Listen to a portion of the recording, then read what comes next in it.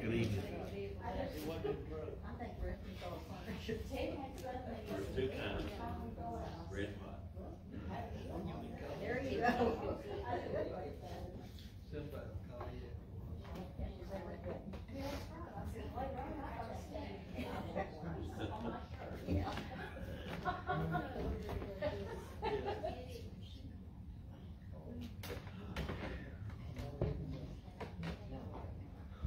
Well, good evening, everybody. It is time. It is past time. I'm, I'm, I'm two minutes past time. So y'all don't hold that against me at the end. If I go two minutes after, then you know I started two minutes late. What a joy to have all of you here tonight. Good to have you watching from home. Hope and pray that uh, you're all's well. I don't know, maybe Tom and Linda or, or Jewel and, and, and Paul. I don't know, Sherry, Miss, whoever's watching. I hope and pray God will bless you in a big way tonight. It's good to have all of you Uh, in the room with us tonight. I tell you what, Miss Tammy is eating up this extra sunshine in the evening. But she is, she is, she is enjoying life. Like she's out there sunning herself a while ago, like an old groundhog or a possum or something out there in the sun, and just soaking up some vitamin C. And I'm then- sure she would appreciate you. well, I, I'd say that if she's in the room. I ain't, I ain't scared of her. I, I, I didn't call her a possum. I said she's she's basking like a possum, like I said. A. Groundhog. That's what I said. Groundhog. Hey, don't get me in trouble. That's that's enough of that foolishness. Like a cat. Laying like a cat. That's what we'll go with. But it is good to be in the house of the Lord on this beautiful evening as we just just a glorious time of the year. Uh, spring is ever budding and, and, and daffodils. We got a bunch of daffodils on our table from somewhere. I don't know where they came from. But just came from Nancy's house. They're just so beautiful and uh, a lot of lot to be thankful for. And God's been awful good to us and blessed and provided and protected. We prayed for ladies all day. They've gone all day and, and half the afternoon. They, they, they claimed to went to Hamrick. They brought some Hamrick receipts back, but where else they wound up, I have, I'm not even going to begin to, under, to even guess. But I know a good time was had by all. Miss Jude brought her friend. I hope her, hope your friend had a good time. Oh, she said, I just loved all these women. Well, praise the They Lord. were so sweet. Are they are they look, looking for a church? Are they church going folks? Yeah, boy. They stay on, stay on. Sick 'em, Judy. Sick 'em, Judy. Amen. I'm so proud to see that new face this morning. Tammy said she fit right in. Said just, She did, like. Yeah, that's all right. That's all right. But we got a lot to be praying for. A lot of a lot of folks still uh, sick in body. A lot of a lot of folks just battling stuff.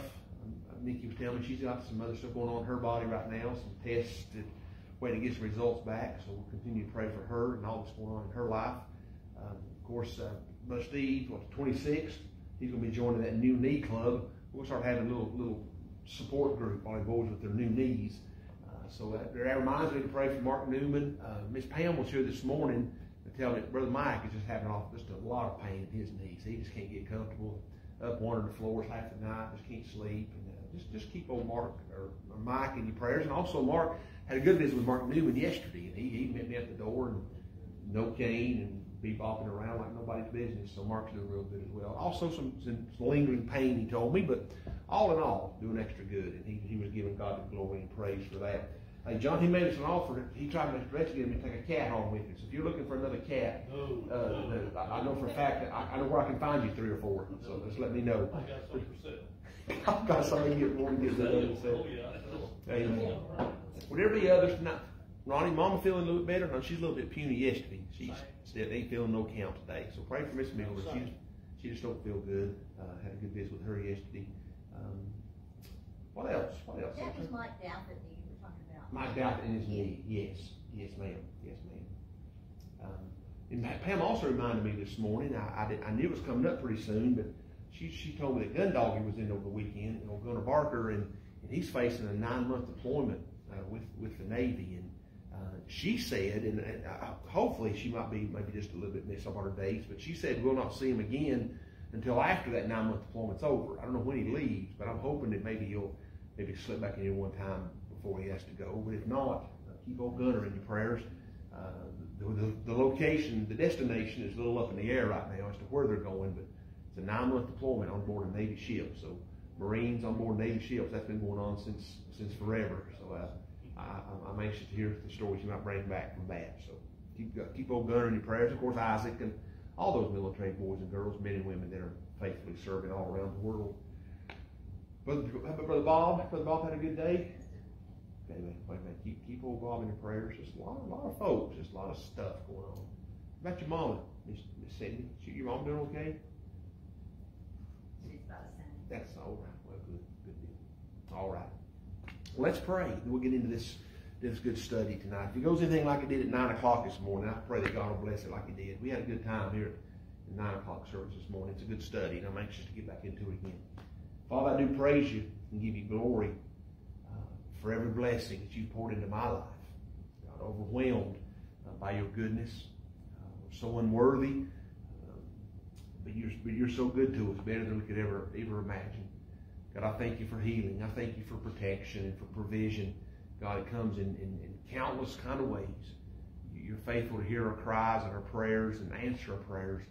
And we, we come before you tonight, Lord, just in standing in awe, with our, with our hands lifted high in praise, thanking you for blessing us the way you do.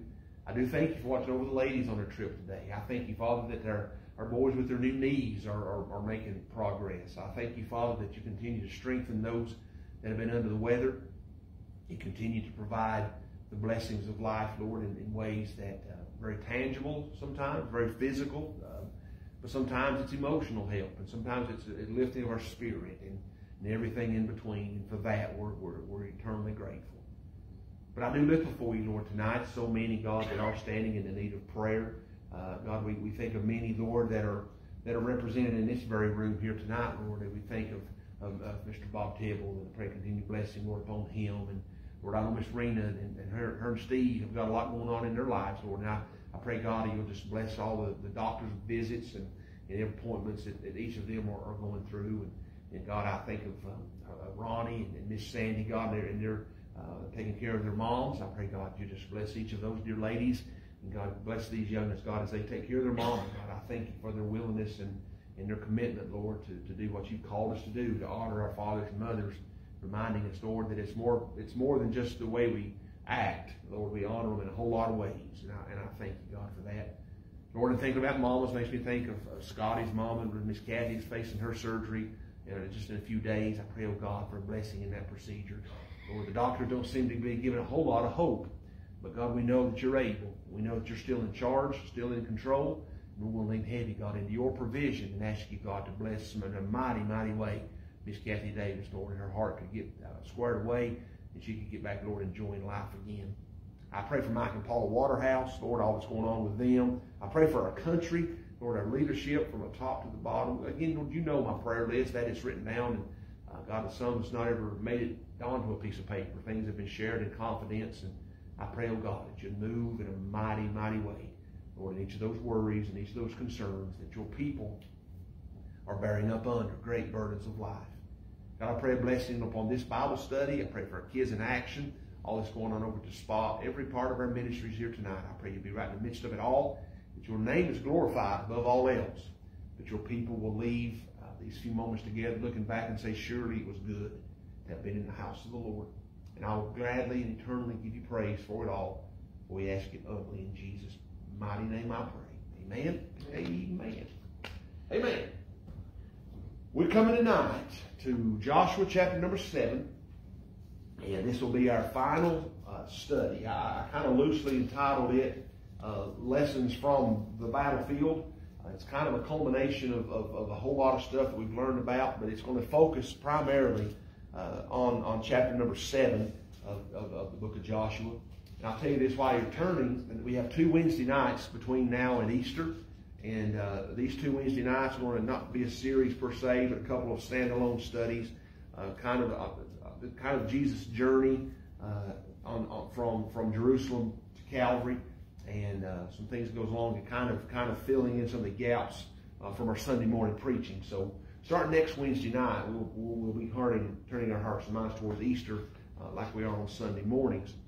But if you remember anything about where we are in this study, uh, I, mean, I know been gone two two Wednesday nights. By the way, thank you, David, for stepping in. I've heard some good things about David's uh, studies that he led. Uh, I I have to, I have to get there sometime when I'm actually here, so I can, I'd, I'd love to hear it sometime too. I appreciate Dave stepping in those two Wednesday nights and, and, um, and filling in for me.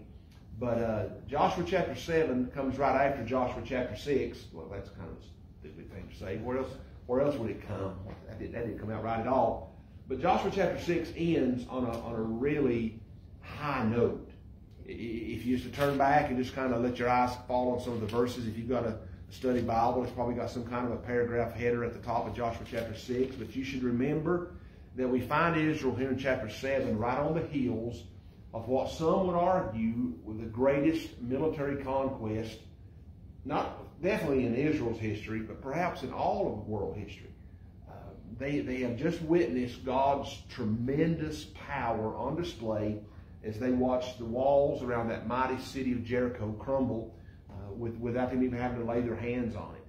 So, with that still looming large in their memories, they're, they're basking in the glow of that great event, how God moved. They, they thought the Jordan River was pretty amazing. Then they watched him do what they did at Jericho. So these people, without a doubt, are thinking, what's God got in store for us next? You would think. But Joshua chapter 7 opens on a rather negative note. Even after this great victory at Jericho, it, chapter 7 opens with God being upset yet again with the actions of his chosen people. Listen how it starts. Joshua chapter 7 verse 1 says, But the sons of Israel acted unfaithfully in regard to the things under the ban. For Achan, the son of Carmi, the son of Zabdi, the son of Zerah, from the tribe of Judah, took some of the things under the ban. Therefore, the anger of the Lord burned against the sons of Israel. We'll stop right there. We'll come back to verse 2 in just a minute. But you need to understand what Achan has done. Uh, and, and to fully appreciate what Achan has done, you've got to come back to chapter 6.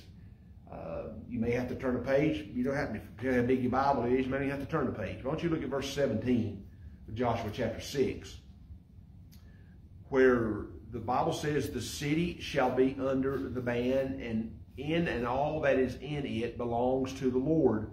Only Rahab the harlot and all who are with her in the house shall live, because she hid the messengers whom we sent. But as for you, only keep yourselves from the things under the ban, so that you do not covet them, and take some of the things under the ban, and make the camp of Israel accursed, and bring trouble on it. But all the silver and the gold, and articles of bronze and iron are holy to the Lord. They shall go into the treasury of the Lord.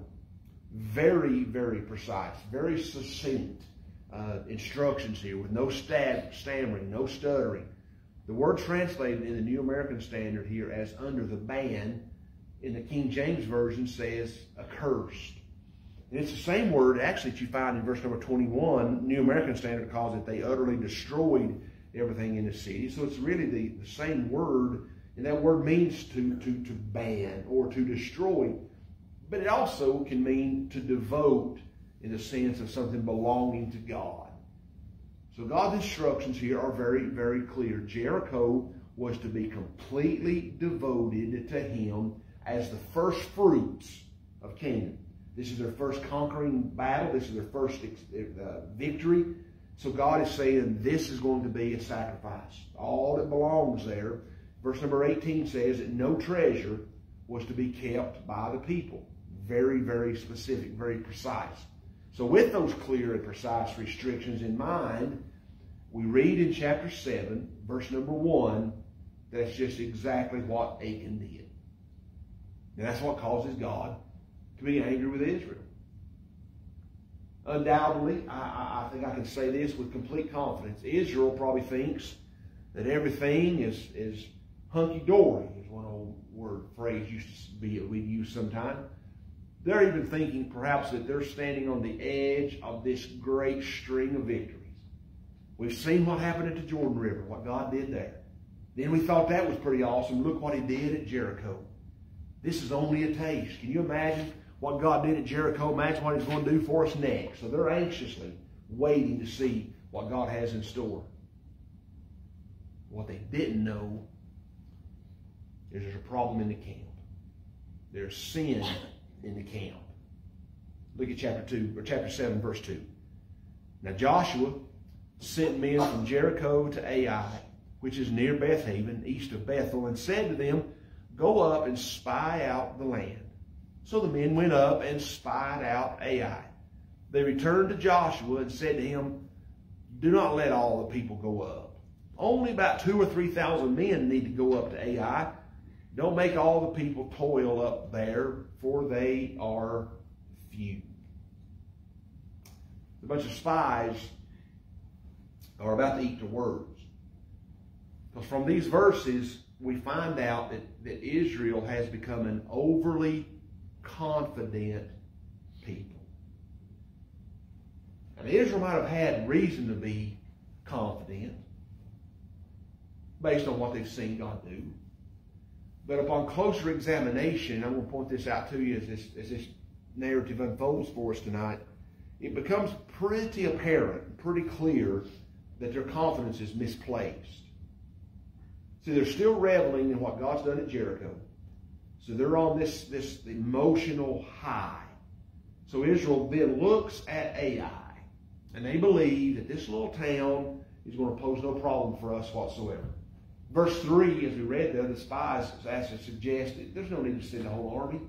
Pick you out two or three thousand soldiers. That's probably all we'll need for that little sleeping little hamlet that's, that is Ai. Israel didn't know it yet, but they're living through one of the most dangerous spiritual times of life. I'm talking about the time just after we experience a great spiritual victory in our lives. And, I, have seen it oftentimes when, when our young people come back from a student conference or you come back from a women's conference or a, a church after a, a revival that has swept through the community and everybody is just on a spiritual cloud and, and on a spiritual high. And just like Israel, we have this tendency to become a little overconfident. We, we, we believe that we can handle any battle that comes our way. We're, we're, we're, we're spiritually charged and ready to take on hell with a water pistol, as the old saying goes. Now, now, now let me stop right here. Don't, don't misunderstand me right here. Confidence is a good thing. We, we, we have been made more than conquerors, the Bible tells us. We have won the victory over. I mean, the, the confidence is not a bad thing as long as our confidence is in the right place. As long as we're walking with hope and confidence fully in the power of the Lord and the promises of His Word and, and the strength of the Holy Spirit of God, we're going to win a lot of victories. And we can walk in that confidence. Psalm 37, verse 4, he says, The Lord shall help them and deliver them. He shall deliver them from the wicked and save them. Why? Because they trust in Him. So it's okay to have confidence. I'm not saying that it's not. It's when we begin walking in our own abilities. It's when we begin walking in our own fleshly abilities that we're destined to trip and stumble. Proverbs 16 verse 18 says, Pride goes before the destruction and a haughty spirit before the fall. So I, I, I, every time I've had an opportunity to teach this passage of Scripture, it, it washes over me and, and, and just convicts me huge. Because I fully recognize how God has gifted me. And I, I, I, can put together a Bible study. And I can put together three points in a poem. And, and, I've, and I've conquered my fear of public speaking. And I can stand up before a big crowd and I can put some music together. I've got some skills that God has blessed me with. And it's awful easy to just rest in those abilities and in those skills. But this story, every time I come to it, reminds me how quick we can get so overconfident without the leadership and the power of God. And I want to show you what happens to these people. We're not real careful, can also happen to us. So it's because they are an overly confident people that we see them quickly becoming a conquered people. Look at verse 4 now. After the, after the recommendation of verse number 3, don't let them all go up there, two or three thousand. Don't make all the people go up there and toil, what verse 3 says. So, verse 4 begins, about 3,000 men from the people went up there but they fled from the men of Ai. The men of Ai struck them about 36, struck down about 36 of their men. They pursued them from the gate as far as Shebarim and struck them down on the descent. So the hearts of the people melted and became as water. So Israel goes up to Ai on the recommendation of those spies, takes them two or three thousand men. and they get their hindside waxed, so to speak. They get their backsides spanked. They suffer a terrible defeat at the hands of the Ai residents, and 36 of their own men are killed. So think how devastating this had to have been to the Israelites. They've just watched God destroy Jericho for them. They've just watched him bring down the walls of Jericho without him having to raise a, a single battering ram or a sledgehammer or nothing. So they're walking into Ai thinking, if he could do that in Jericho, just think what's going to happen in Ai. So they go from this spiritual plateau, this cloud land, this place they're living in great spiritual victory to boom. How devastating it was to these men. They're carrying their dead back with their tails between their legs. But on close inspection, you can actually see a couple mistakes these folks made. And I think it's mistakes that we can all be guilty of. I think it's mistakes that we that we that we've all been guilty of and will continue to be guilty if we're not extra careful. Remember this now. Remember the last two great events in their history as recorded in God's Word. Crossing of the flooded Jordan River, the destruction of the mighty city of Jericho. And both of those events had one thing in common. Remember what it was? The Ark of the Covenant. The Ark of the Covenant went ahead of them, and, had, had walked into the Jordan River first. As soon as the feet of the priest that was carrying the Ark of the Covenant touched the water, the water stopped, flowed away, and the ground became dry for them to cross the flooded Jordan River. When they marched around the city of Jericho those six days, seven times on the seventh day, the Ark of the Covenant out ahead of them. You need to remember, we talked about this in that, in that last time in our last study about, about the Battle of Jericho. The ark always symbolized the presence and the power of God in the presence of the people. Without it, without it leading them into battle, says only one thing. And you don't have to be a rocket scientist to figure that out. They, they went into this battle in their own abilities. They went into this battle in their own strength, and people died as a result. Now listen. If I try to live this Christian life, if you try to live that Christian life, if I, if I try to pastor this church, you try to, to be the husband or the wife or the nene or whatever they call you, and if you try to do all those grandkids and you try to live this life, it's my driving me bananas. That's what you're saying, Dustin. It needs to be adjusted. It ain't, it ain't right. We've got to work on this thing some more. If we try to live this life, fight this battles, and fight this fleshly tendency and the fleshly desires in our own power, we're going to face plant spiritually every single time. But there's something glorious in the fact that when I'm walking with the Lord and walking in His Word and, and, and praying and, and being plugged in, He'll go with us into battle and He'll face our enemies on our behalf. And this is not a new lesson. David would go on to, to, to know this about his own life. You remember 1 Samuel chapter 17, verse 47, David's standing there facing nine and a half foot tall Goliath, that mighty soldier, mighty man. And he said this, David said, he said, All this assembly may know that the Lord does not deliver by sword or by spear, for the battle is the Lord's, and he will give you into our hands. So for these folks to get to this place where they did not put the Ark of the Covenant out front of them, they are in essence, by their actions, putting the confidence in their own abilities and not in the Lord. Take you two or three thousand soldiers, you'll be fine. It's just Ai. They weren't walking by faith. They were walking by sight. And they were guilty of trusting what they thought they could do by themselves. Now, let's just be honest right here. Ain't nobody here but us. Uh, let's just be honest with our own self right here. I don't want no show of hands, nothing like that. But think back about your own life and ask yourself, how many times have, have, have I stumbled or, or, suffered a defeat in my spiritual life and, and, and, had the props knocked out from under me because I, I discovered that we can handle this thing by ourselves. Oh yeah, it's a financial problem here. We, we got we got enough. We, we can take care of this, and we'll fix. We'll leave the big stuff to the Lord, and we'll take care of the smaller stuff as as the needs arise. We're all been guilty. I promise you, this guy, I can only speak for this guy. But there's been time that we felt that way in my own life. And I had to come to, to, the, to, the, to the stark realization numerous times I'm not up to this task by myself.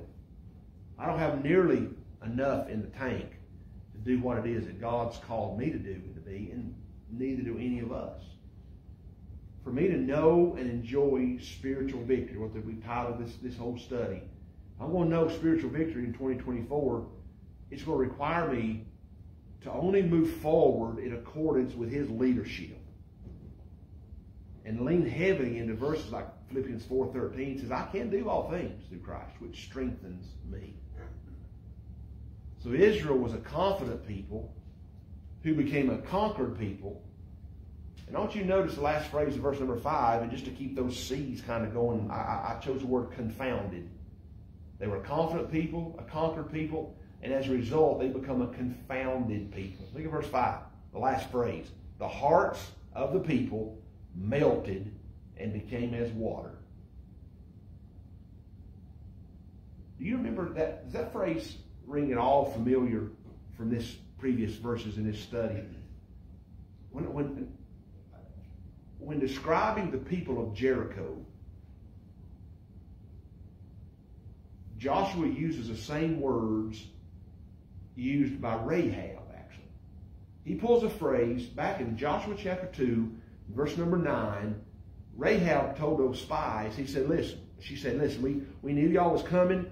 We had heard how the power of God was moving on y'all. We'd heard what you had done the kings and this mighty army bearing down on Jericho.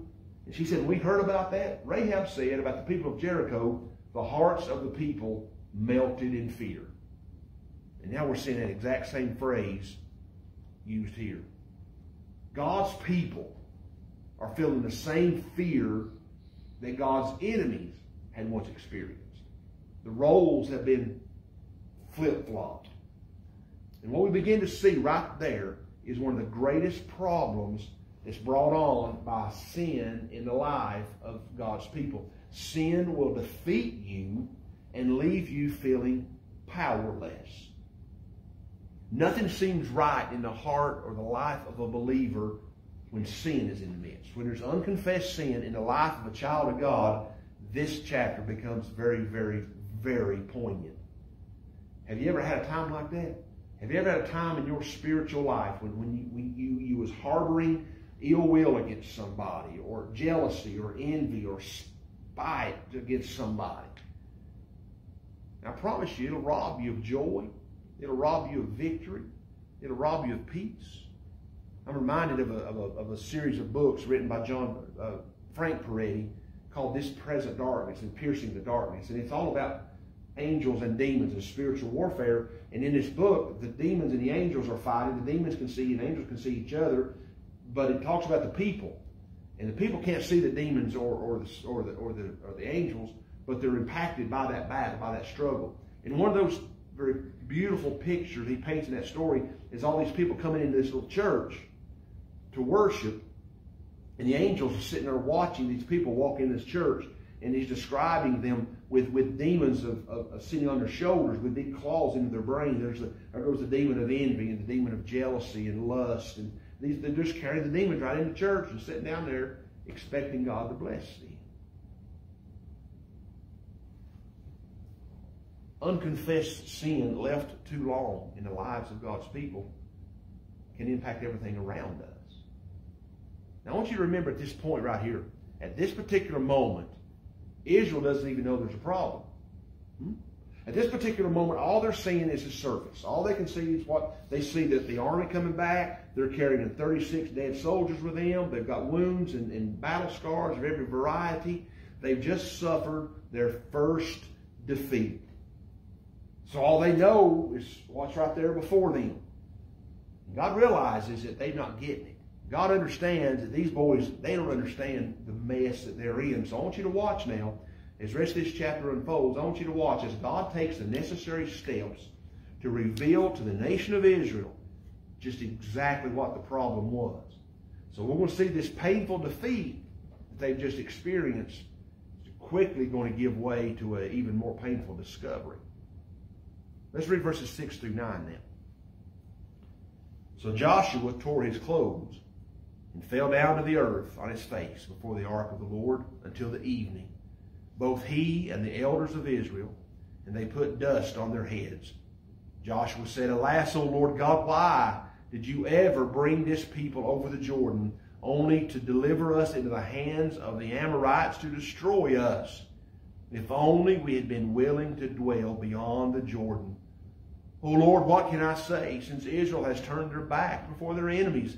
For the Canaanites and all the inhabitants of the land will hear of it, and they're going to surround us and cut off our name from the earth. And what will you do for your great name?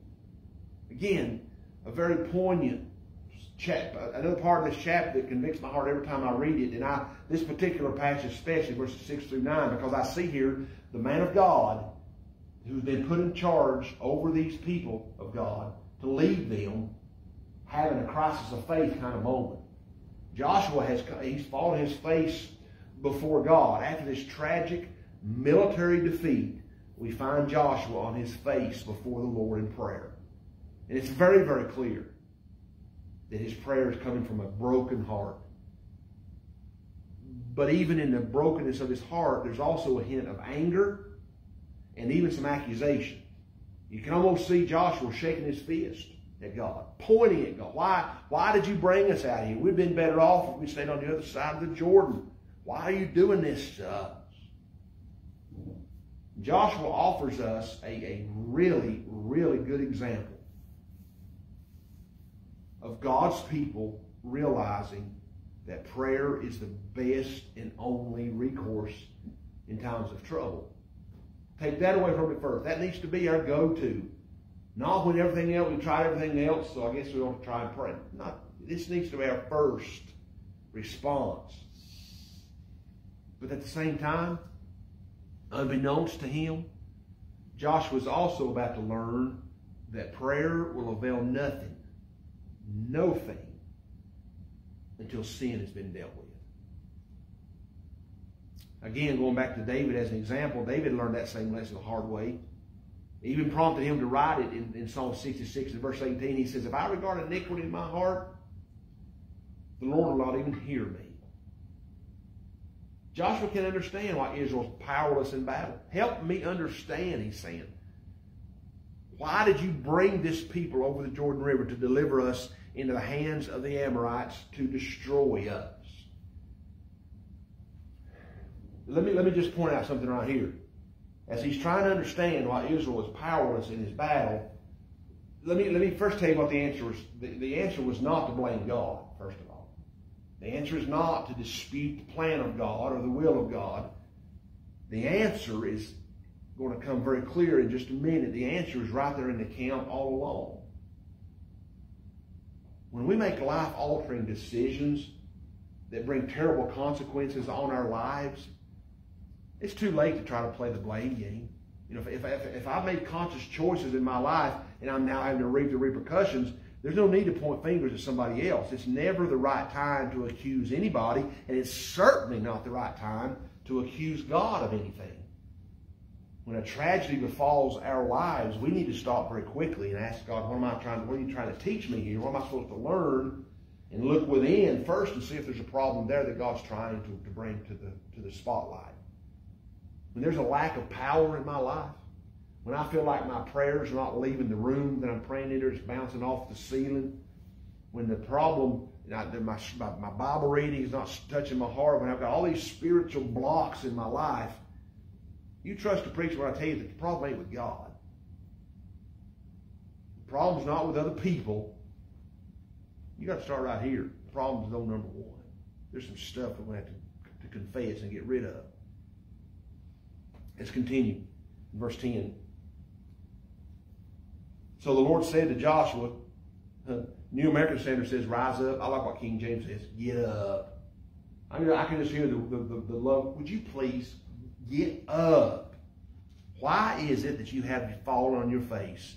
Israel has sinned, and they have also transgressed my covenant, which I commanded them, and they've ever take, they've even taken some of the things under the ban and have not and have both stolen and deceived.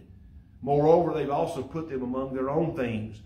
Therefore, the sons of Israel cannot stand before the enemies. They turn their backs before their enemies, for they have been accursed, become accursed. I'll not be with you any more unless you destroy the things under the ban from your midst. Rise up. Get up, Joshua, he says.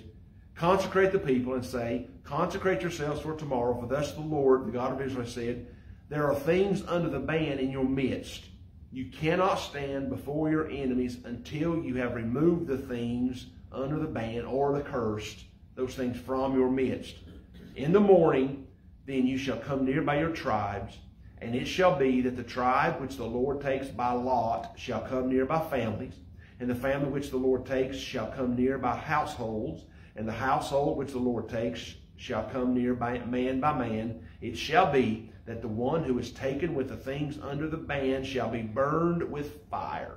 He and all that belongs to him, because he has transgressed the covenant of the Lord, and because he has committed a disgraceful thing in Israel. Now you have to picture this. I, am seeing Joshua. This this is this is pulling his ear, pulling his ears back. He's like, wait, what? Joshua and Israel trying to figure out what the devil's going on and why this is happening in their camp. God in heaven already knows. Make sure you make sure you nail down that fact early on. God in heaven already knows and now begins to tell Joshua about it. God quickly tells Joshua in, old, in, in, in the simplest form all those verses I just read, it boils down to this. Joshua, there's sin in the camp. Verse 12, he tells him, God, God tells Joshua, that, that's what's hindering the power. It's that sin that's bringing about that defeat. The sons of Israel can't stand before their enemies. They, they turn their backs before their enemies. Why? Because they've become accursed. I'll not be with you anymore unless you destroy the things under the ban from your midst. Then he goes on in verse 14 through 14 to 15 and tells Joshua, here's how you're going to do it. Here, here, here's how we're going to discover who the guilty party is. Quite often, the greatest spiritual problems faced by Christian people today comes from within and not from without. I remember an old adage from, from the Navy that they used to use a lot, but it, but it fits a lot of spiritual truths as well. Water on the outside of the boat causes little problems. It's when the water gets inside the boat. That's when you got all sorts of trouble. The water stays outside where it belongs, smooth sailing. It's when the water starts to get inside the boat. All sorts of trouble ensues. And when there are spiritual defeats in my own life, you rest assured. And, and the Bible, Bible will back this up. That, that the things that we try to blame are, are raising on, or try to blame this world on, or try to blame society on, stems right out of the heart of man. The broken nature, the sinful heart of every one of us. So, so they experience this painful defeat, and it leads to that painful discovery, and it all culminates in a, in a painful death. Check out this, check out this gruesome ending. Verse 16. So Joshua rose early in the morning and brought Israel nearby tribes, and the tribe of Judah was taken. Let me, let me stop right there. Casting lots, I, I've seen several different, read several different translations of what casting lots actually looks like. Uh, some some bones and it's, it's like dice and there's there's variations on what that could have looked like but there was it was a, a way of God directing and that's how they did according to to verse number 14, the Lord takes by lot shall come my family. So anyway, as it turns out, verse 16 says that the tribe of Judah is taken first. So we whittle it down to Judah. He brought the family of Judah near, and he took the family of the Zerahites.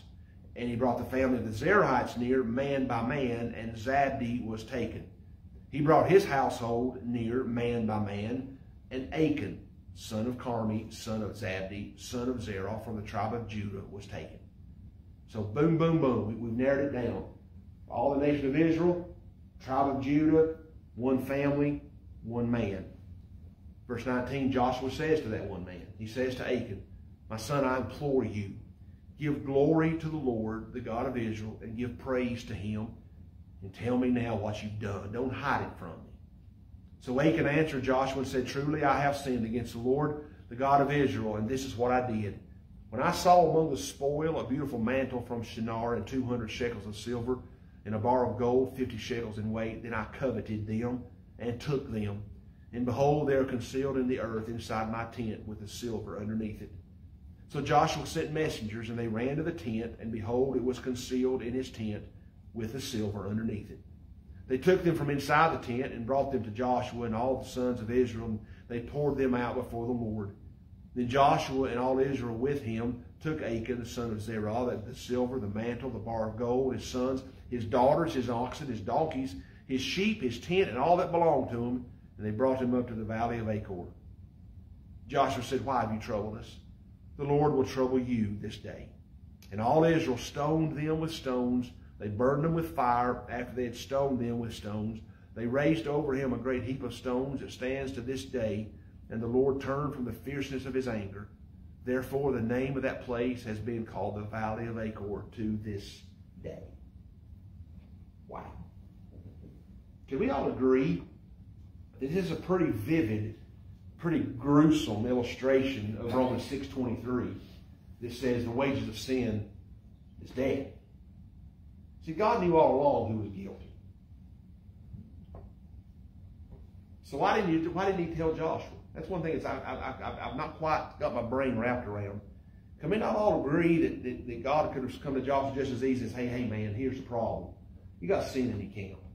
That boy Achan over yonder, in the back left corner of his tent, underneath his sleeping bag, buried under the dirt, there's a, there's a mantle and there's gold and silver. There's your problem, pal. There's your problem. Deal with that right.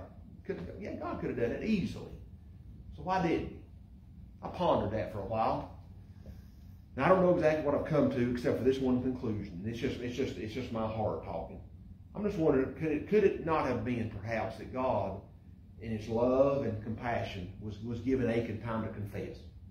You know, I, he, he knew how it was going to play out. Don't get me wrong. I'm, I'm not saying he was hope, just hoping that Achan would, would change the course of things. It's not that at all.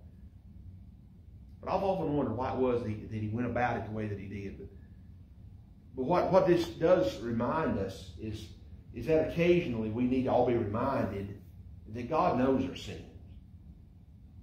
And his finger is getting closer and closer to the sins of our lives. And that ought, that ought to open our hearts and open our minds and realize that. It's only a matter of time till the finger of God lands on my life and I'm exposed in my sins. Because Numbers 32, 23 says it. Numbers 32, verse 23 says, You sin against the Lord and be sure your sin will find you out. That sin, sin cannot and will not be hidden forever. So now this sin is out in the open. It had to be dealt with. And, and with that, two key elements have to be noted here. There's compassion and then confession.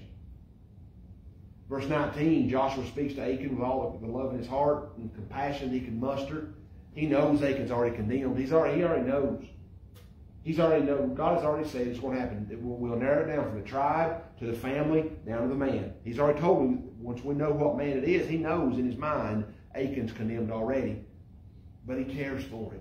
He still cares for the man who had brought so much trouble to the nation of Israel. So then, sure enough, verse 20 and 21, he confesses to him. And I want you to notice the progression of Achan's sin in verse 21. There's three words and I would submit to you tonight that sin follows this same pattern every single time. I saw, I coveted, I took. It may, be, it may translate differently depending what, what version you're reading from tonight. I saw it, I wanted it, I took it. I saw it, I wanted it, I smoked it, or I drunk it, or I took it, or I went to that website, and I, whatever, whatever sin looks like in your understanding of sin it always follows the same pattern. I'll prove it to you. Genesis chapter 3, verse number 1, in the Garden of Eden. Eve saw the fruit on the tree. It was pleasing to her eye. She took it. She saw it. She liked it. She took it. Going back to what we talked about Daniel or Samuel before. David before in 2 Samuel. In his sin with Bathsheba. He's up on his balcony, sees her taking a bath. He sees, he covets, he takes it. And again, I challenge you. Any, any sin you can think of will fit that same pattern to the point that James writes about it. James writes this in James chapter 1, verse 13. Let no man say when he's tempted, I've been tempted by God. God can't be tempted by evil, and he himself does not tempt anyone. But each one that is tempted when he's carried away and enticed by his own lust. Then when lust has conceived, it gives birth to sin. And when sin is accomplished, it brings forth death. Sin always works the same way. It, you see it, it appeals to my fleshly tendency, my fleshly nature. I want it, so I take it.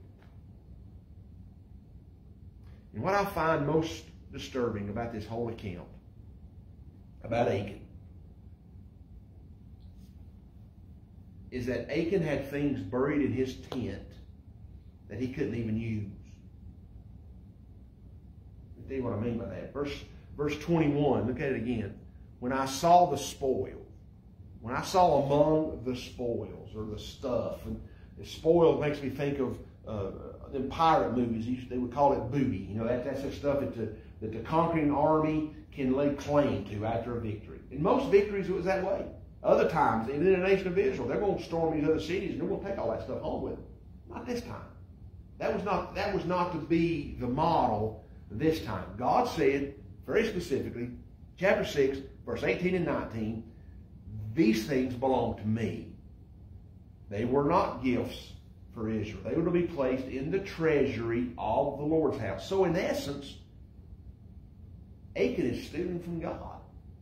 He is guilty of stealing from the Lord himself. And for him to benefit from what he had stolen would reveal his true character to the entire nation of Israel.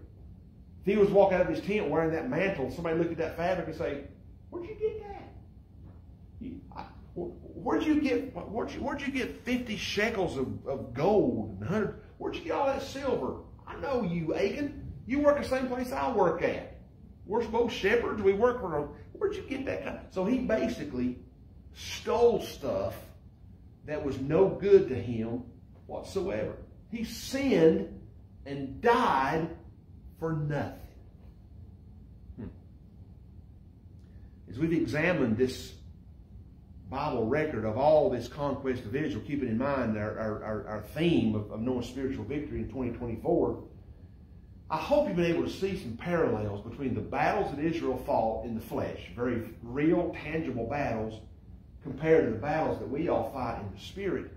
Because in the battles and the stories that we read, that we read related to the conquest of Canaan, I've tried to paint this comparison to our lives as children of God as we're striving to obtain our own spiritual victory. I want you to think back about what we know about Jericho, and I want you to view Jericho as the top of the world. And think about how that in its defeat, in this in that story, we see the promise of victory over the world when we're putting God in the leadership position in our lives. First John chapter 5 tells us in verse 4, Whatsoever is born of God overcomes the world, and this is the victory that overcomes the world, even our faith. So we see that illustrated in that story of Jericho. But now in Ai, I, think we can view Ai as, as, as the top of the flesh. And if you continue on, and I would encourage you read read the rest of these accounts. If you go on into chapter 8, you're going to find that after the sin in the camp with Achan is dealt with, Israel goes back to Ai and conquers them in a, in a, in a sound, sound fashion. And again, and I think in that defeat, if we want to view God's Word as a spiritual book with spiritual truths, then we have the promise of victory in this flesh as we battle and do battle for the Lord Jesus Christ. Romans chapter 7, verse 24 says, O wretched man that I am, who shall deliver me from the body of this death? I thank God through Jesus Christ our Lord. But as we bring this to close, I, I share with you what I find to be the most unsettling fact of this whole account. The one that that that that drives me and and, and, and, and challenges me is the fact that the sin of one man could cause such problems for the entire family of God. When Paul was writing to the church at Corinth in 1 Corinthians chapter number 12, verse 24 said, God has composed the body, giving more abundant honor to that member which lack, so that there may be no division in the body, but that the members may have the same care for one another. In verse 26, he says, If one member suffers, all the members suffer with it. If one member is honored, then all the members rejoice with it. Paul, Paul painted he expounded this vision or this, this image of, of the body of Christ being like a human body with ears and noses and hands and, and feet. And I think it's a very clear illustration. I think I'm safe in saying that when one member of the body has problems, the entire body has problems. And you can, you can testify to that. If your foot hurts, the whole body limps. Every other muscle limps to make that foot feel better. You go right on. I mean, if, have you ever have you ever had your thumb wrapped up in big old bandage and realize how, how important your thumb is when you're not using that thumb? And whether you like it or not, your spiritual temperature can have a deep impact on the entire body of Christ. If you're God's child and you have unconfessed and unrepented sin in your heart and in your life, you need to understand that that can prove to be a hindrance and trouble to those around you. Sin causes problems for the sinner, but it also causes problems for everybody else around them. Because the truth is, we're not an island unto ourselves. You may like to think you are, but the truth is, what you do affects your family. What you do affects your church, affects your community. Every child of God needs to grab onto the fact that God will chasten us to bring us back in line with His will. That there is help in Christ Jesus for every one of us that has an aching kind of heart. When we allow the sin of our lives to permeate and remain un, undealt with, we try to hide that thing and try to cover up that thing, we're going to bring trouble at every corner of our lives. And the truth is, you may not want to admit it, but we're all aching from time to time. When we are, our sin can bring some aching into our lives. It's horrible. It's a horrible pun. All through this series, we've made this comparison, contrasting and comparing the supernatural and the personal. There's been a supernatural part of these stories, but a very personal aspect in these in these stories, and that's where we need to nail this thing down and walk out of here tonight, facing the rest of this year, keeping with this theme, spiritual victories in 2024. If the, if the story of Israel teaches us anything, let it be this: that there are battles that have to be fought, but they won't last forever. There's going to be hard times coming. But just as surely as Israel obtained a state of rest, one day we'll all know that rest as well. The day's coming, and all the battles will be over, and we'll be in paradise with Him forever. But in the meantime, there's enemies to face, there's battles to be fought, and it's up to us to make this choice. We can choose to fight them with our own weapons and of our own making and lose every time, or we can fight the way the Lord has shown us and step out of the way and let Him fight the battle for us. I don't know what you're fighting tonight. I, I, know some of your stories. I know there's some, some spiritual struggles going on in family dynamics. I get that. And even though I don't know all your stories, I do know man. I know a man that can help you. I know the one that wants to help you with that battle. If, if I bring that to him and lay it at his feet and says, Lord, you're going to have to fix this. I don't know any other way to fix it. Joshua was a man of determination. Joshua was a man that would, we would all do well to emulate. It's a quality that's developed by, that needs to be developed by every child of God. There's far too many quitting today. There's far too many folks just dropping out of church, far too many throwing in the towel and, and giving up the fight. And maybe you may, you may be shocked to know this, but I, I have resigned from this church probably no less than 20 times in the past 20 years. Tammy don't know a lot of them. Tammy don't, she's known a few of them. There's, there's been several times that I said, I'm done. Hmm. And God says, no, you ain't. In my mind, I was, I was, I was going to, I was going to walk up here and say, yeah, it's time to go. I said, no, no, you're not. I said, okay. 20 years later, here we see it, Brother Roy.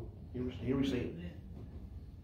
I think God's just looking for some folks that, that, that will just make a vow before the Lord. says, come what may, I'll stand. I'll, I'll be I'll be one he can count on. I'll be in service until the bitter end. We need some folks that will adopt the attitude of Paul when he says in 1 Corinthians 15, verse 58, he said, Therefore, my beloved brethren, be steadfast, unmovable, always abounding in the work of the Lord, for as much as you know your labor is not in vain in the Lord. We've all had days. Don't, don't sit there in your high and mighty self-righteousness and tell me you've not had those kind of days. You just felt like dropping out. Been a whole lot easier. Don't quit. What you need to do is the same thing I've done numerous times. Just ask Him, would you please, oh God, fan the dying embers back into a raging flame of victory for your glory. Blow a little breath of glory into this circumstance and, and rekindle that. Let me say to those that, that may be waiting on an easier time uh, to begin serving the Lord, maybe you're home tonight, you know, battling all the medical stuff and the and, and all that's going on in your life. It's awful easy to say it's not worth the struggle. Let me let me encourage you as I encourage these folks. You may never have an easier time than right now to serve the Lord. You're not promised one more day on this earth. The only day that I have to fight my battle is today. Tomorrow may never come. So if I've got something I'm supposed to be doing for the Lord, I need to be doing it today. Amen? Had a preacher friend of mine, I'll, I'll, I'll, put, I'll put this illustration in your mind and, and challenge you with that. He told me that at the beginning of every year at his church, he put 365 marbles in this big giant jar. And every every day he'd go into the office, he'd take one of those marbles out of that jar and put it into this one. And he'd watch this whole year with, with adventures and challenges and opportunities. And he'd watch this jar finally just start shrinking and reminding him how many days I've got left this year. How many days, I mean, the uh, year's almost over. What have I accomplished? He'd watch this jar getting emptier while this other jar's filling up. And he often told me, he would sit and talk with me, he'd say, I got thinking that I don't how many days of life I've got left. Wouldn't that be something if we viewed our life like that? We've only got so many days left to do. So claim, claim, claim your, with God's help, claim your Canaan. Let's step into 2024. That's the way I started way back when we first started. Now we're now we're already into March. Who, who can believe that? I didn't realize how. Anyway, I was I was looking at my calendar and, and realized how how. Anyway, I can't believe it's March already. That's what I'm trying to say. Halfway through March now. There's some great spiritual victories to be known in 2024. Don't give up. Don't quit. Steadfast. Unmovable. Always abounding in the work of the Lord because you know, Paul says, that your labor is not in vain in the Lord. Amen. Let's pray. Father, I give you glory and all the praise, again, for the privilege to bring this good study tonight. I thank you, God, for the attentiveness of those here, Lord, and, and uh, those watching from home. I pray it's been a blessing to them as well. God, I thank you, God, for the powerful truth that come out of this, this troubling story about Achan, but what a great lesson it teaches all of us. Thank you for the privilege and the opportunity to teach it. Would you go home with us now? Would you protect us as we travel, God, and bring us back here Sunday as we turn our hearts and minds towards Calvary one more time? Begin thinking about that crucifixion that's ultimately going to lead to, to his death and, and the resurrection of our Lord and Savior, Jesus Christ. Thank you for this holiday season, this Easter season, and for the joy that it brings into our lives. I love you, and I praise you for this privilege. In Jesus' name I pray. Amen. Amen. Question. Yes, ma'am. And I, every time I read over that, I wonder, why do you think the Lord thought it was